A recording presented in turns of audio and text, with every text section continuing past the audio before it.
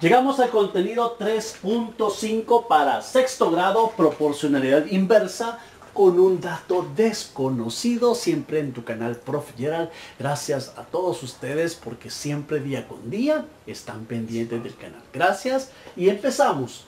Ok, dice de la siguiente manera.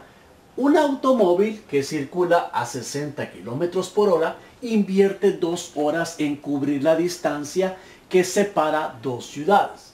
Si vuelve a realizar el viaje a una rapidez de 20 kilómetros por hora, ¿cuánto tiempo tardará?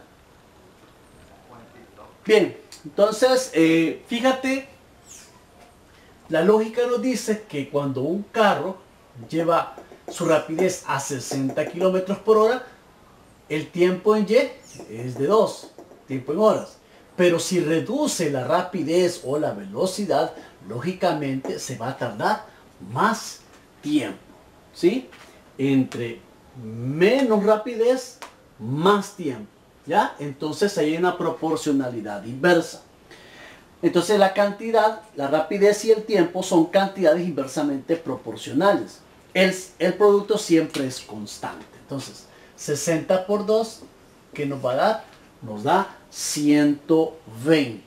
Entonces, lógicamente, 20 por A también nos da, o nos tiene que dar 120. Entonces, lo que hacemos es 20 por A es igual a 120. Entonces, A es igual a 120 y 20 que está multiplicando va a pasar a dividir, ¿sí? 20 y 120 entre 20, ¿qué nos da? Nos da 6. Eso significa, ¿verdad? Que tardará 6 horas. La otra forma que podemos visualizarlo, fíjate, encuentro el cambio en la rapidez. Lo que observo es lo siguiente, que 60, si yo lo multiplico por un tercio, esto, tercera 1 y tercera 20, 20 por 1 es 20. Mira, Estamos, esto se ha multiplicado por un tercio. Entonces, esto lo voy a multiplicar por 3. ¿Ya? El recíproco de un tercio, 3. Entonces, 2 por 3, que me da 6. El mismo resultado me da en uno y me da en otro. Se puede encontrar un valor desconocido en situaciones sobre, por, sobre proporcionalidad inversa, utilizando la definición o la propiedad de proporcionalidad inversa. Vamos entonces a los dos casos que aparecen ahí. Nos dice, hay 8 barriles llenos de vino con 200 litros cada uno. Se quiere envasar la misma cantidad de vino en 32 barriles, iguales, llenándolos completamente.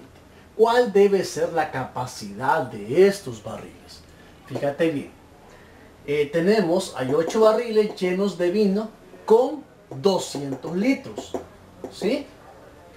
Pero se quiere envasar la misma cantidad de vino en 32 barriles. Eso significa que la capacidad va a ser menor.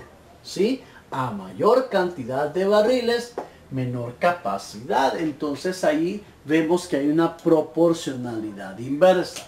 Si yo multiplico 8 por 200 me da 1600. Entonces, entonces a multiplicar 32 por A me va a dar 1600.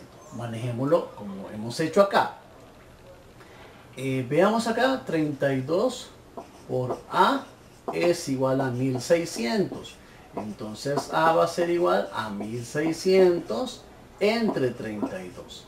Si tú divides 1600 entre 32 te va a dar cuánto? Te va a dar 50. Entonces, la capacidad en litros sería 50 litros.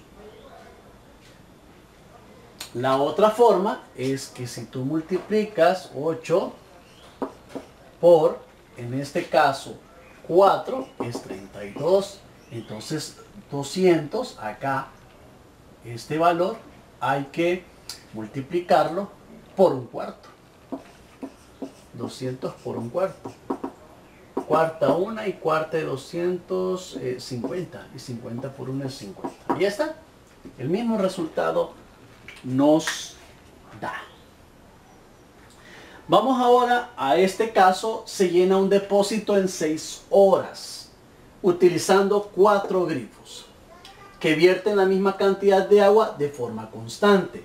Si se usan 8 grifos con este mismo flujo de agua, ¿cuánto tiempo tardará en llenar el depósito? Nuevamente tenemos acá la proporcionalidad inversa. Y fíjate, eh, en este caso vamos a ver lo siguiente. Ok, ahora utilizo cuatro grifos y el tiempo es de 6 horas. Entonces, entre más grifos yo utilice, menos el tiempo, ¿verdad? Voy a tener entonces, si multiplico acá 4 por 6, es 24. Entonces, 8 por A me va a dar 24. ¿Sí? Resolvamos. 24 por A, perdón, ¿sí? 8 por A sería. 8 por A es igual a 24. Entonces A es igual a 24 entre 8. Y 24 entre 8, ¿qué nos da? Nos da 3.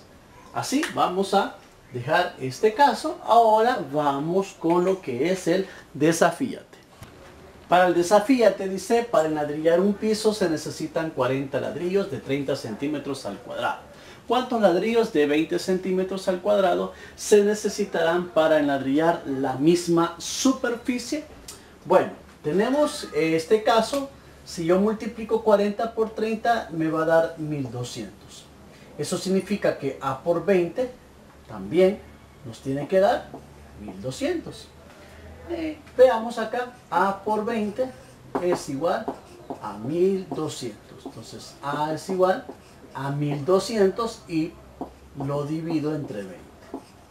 Si tú divides 1200, ¿verdad? Puedes hacer esto, elimina este 0 y te queda 120 entre 2. 2 entre 2 es 6 y le agregamos el 0. Mira, acá nos quedó 60 ladrillos. Ahí finalizamos este caso. Gracias a todos ustedes. Bendiciones.